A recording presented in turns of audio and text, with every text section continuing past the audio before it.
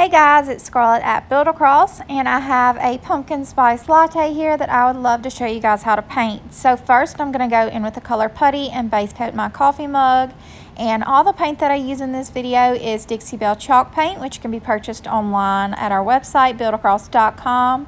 You can also purchase this cutout in whatever size you choose and the brushes I'm using.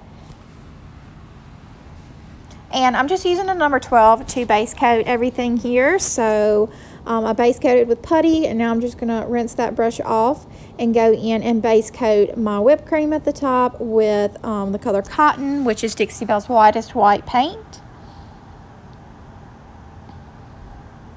And now that everything's dry, I'm just going in and distressing the edges with the color chocolate and a sponge brush.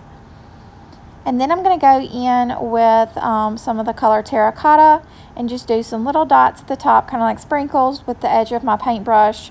I'll also use the color pine cone for that. Next, I'm going to go in with a sponge brush in the color terracotta and I'm going to do some um, kind of like distressed stripes um, horizontally and vertically to give it a plaid look. And then I'm going to go in with that pine cone color again and just do the same thing but with a more solid line over my plaid. And then that will complete my project. This is really simple and easy. I hope you guys enjoy it and have a great day.